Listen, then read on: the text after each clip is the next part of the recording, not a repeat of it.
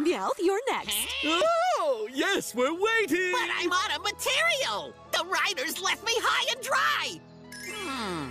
Hey! All right, now it's my turn. you. What? No? Uh, not today. No! Now look, you bummed Jessie out. Just kidding.